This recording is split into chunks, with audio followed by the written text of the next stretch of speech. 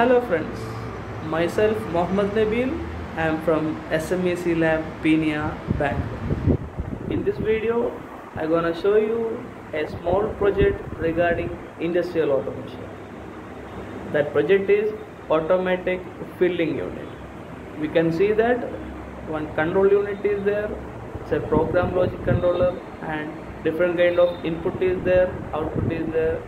Detailedly we can study that how the system will be working, what are the components we'll be using, what is the use for the components, how it will be working. Let's see, we can go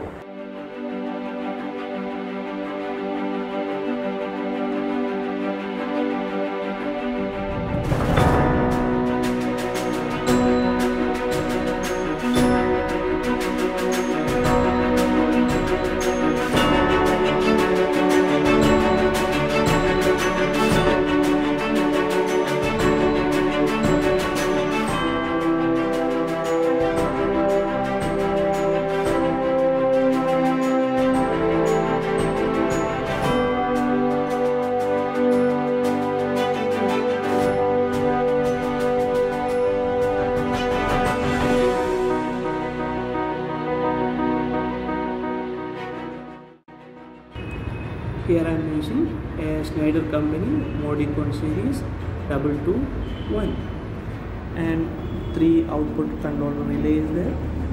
And you can see one circuit breaker. This is the main incomer here I am using single phase AC supply. So that supply will be controlled with the help of this changeover circuit breaker. And two protective fuses is there. After that I am using two SMPS system. One is 12 volt second is 24 volt. 12 volt for that both two motors 24 for this PLC and that all relay and indicators and all. Here is the control switches and all control switch and indicators. Here you can see the green switch this is the start button this is the stop button. Here we can use another switch is there. In this switch we can control the direct and variable motions. Here is the red indicator here is the green indicator. Red will be the when the stop is process getting stopped the red will be below when the process is start the green will be below here you can see one changeover switch is there. Three position is there. Center position is off position.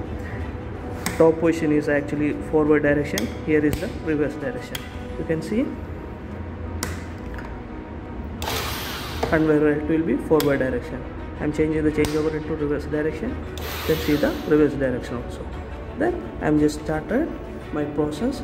You can see this one proximity sensor is there and one solenoid valve is there. Hmm? so in the proximity sensor actually sensing one metallic element. So here i am using each cup i am connected one metal part. So when the process getting started conveyor belt will be run. When the metal will be reaching to proximity proximity will be activated. After some time valve will be open. That particular water getting we can start the process. This is the start button. Just i am pressing the start button so sensor is activated. Valve is open. Water next one.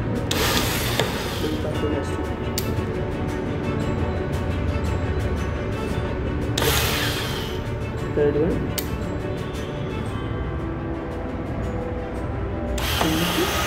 The process will be closed so I am just press the red button for the stop the process. For example we need we require a manual operation. So I am just change the uh, reverse direction. So I can control the so forward direction. So all things will be based on this programmer logic controller program. So here I am using three set of power supply. One is this is AC systems and AC is 230 volt single phase supply. Here is a 24 volt DC here is the 12 volt DC system.